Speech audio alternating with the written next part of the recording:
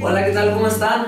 Eh, es para mandarle un saludo muy afectuoso a, a Hermila, ¿verdad?